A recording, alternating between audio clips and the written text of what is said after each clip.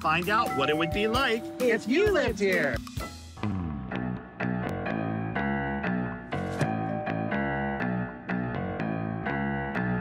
All right, welcome to house number one.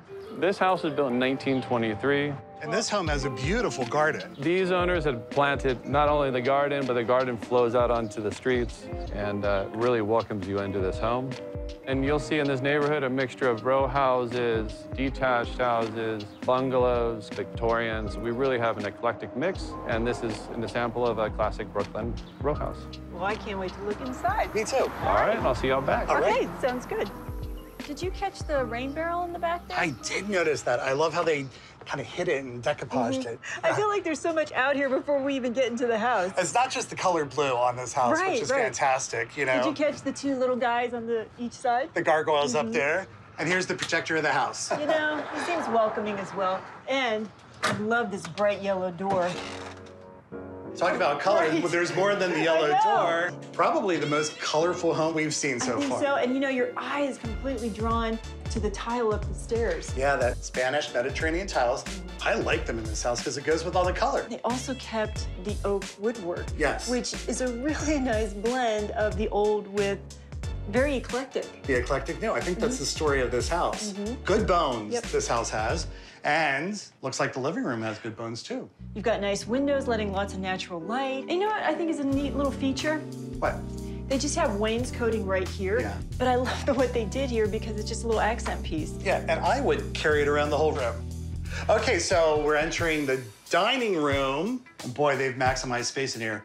I like this modern puzzle light in this room. It's about that eclectic, you know, modern mixed with the old. Fun. This is genius. Do you realize how many sunglasses I lose throughout the year? Uh, I do. I think this whole shutter idea to hold them is clever. Okay, into the kitchen. Okay. First thing we notice is this. You know, they used to have doors on this, so they've taken them off and opened it up, and they put in that great wallpaper in the back. Now, this is a typical, uh, what I would call the galley kitchen. Yes. Look how great this looks. But it's more on the economical side because they've painted the cabinets, and the wallpaper is the backsplash. And they've also utilized the space because they put in a corner sink, which gives you more counter space. Sure does. And I think it feels just great in here because of these doors to the porch. It does Makes lighten the it up. space a lot lighter, brighter, and to that very nice backyard. Okay, later, later, but let's Things to continue. come, things to come. So Right here. Probably cost. Oh. I'm rubber ducky heaven.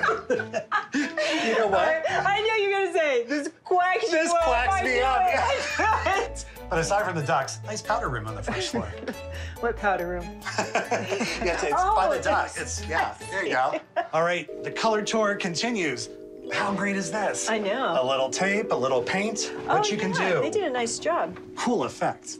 Okay, so we have. Oh. oh this goes back further than I would have thought. For a house full of color, this is a pretty vanilla basement. But I think for a basement, you always want to go light, especially when there's not a lot of windows. Sure, absolutely.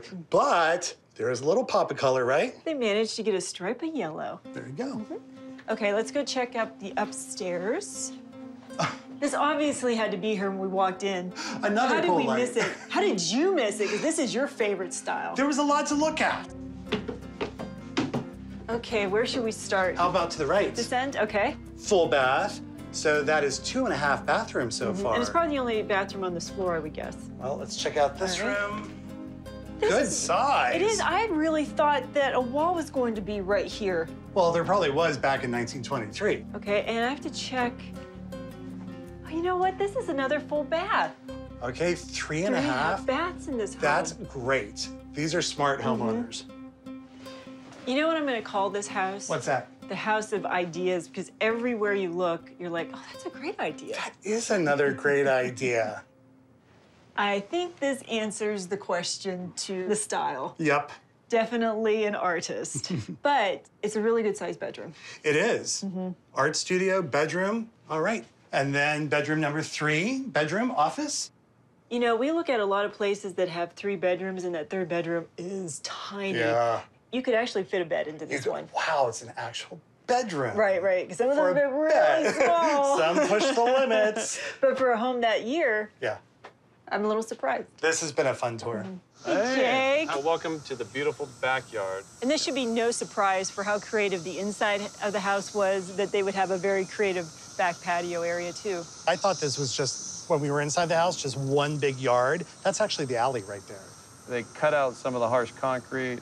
It was so successful, it spread into the neighbor's yard. They took down the fence to the alley too, because all the neighbors have fences. Tear down those walls. These people are creative in every sense of the word. And you'll notice here, to get more space to the house, these would have originally been a back patio, uh, sleeping porch up top.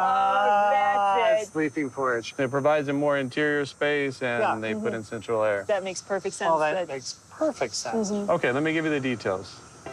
Three bedroom, three and a half bath, built in 1923, approximately 1,400 square feet, with off-street parking. What's your guess? All right, Jake. Um, I'm going to give you a very flat, boring number in a box. I'm going to say this place is worth 700,000. No, Yeah, that was my number. shocking. We're Flat together number. way too much. I'm gonna go a little higher at seven hundred and twenty-five thousand dollars. I would have done the same. The actual list price of this home will be 749. Well, you got Oh, closer. okay, all right. Congratulations. I'm excited to show you the next house, another quintessential Brookland house, just down the street, so we can walk there and Sounds Okay, good. sounds good. Let's do it.